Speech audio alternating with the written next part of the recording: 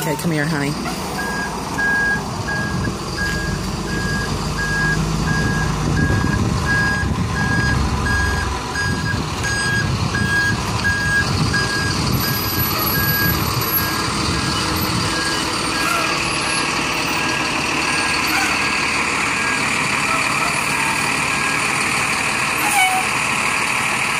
Boys, a payday for everyone. Especially since I got the number wrong.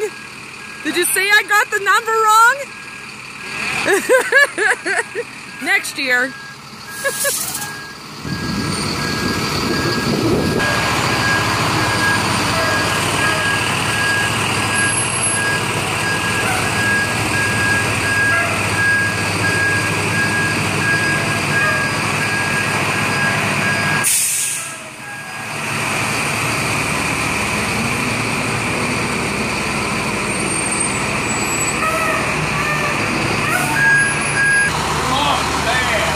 What?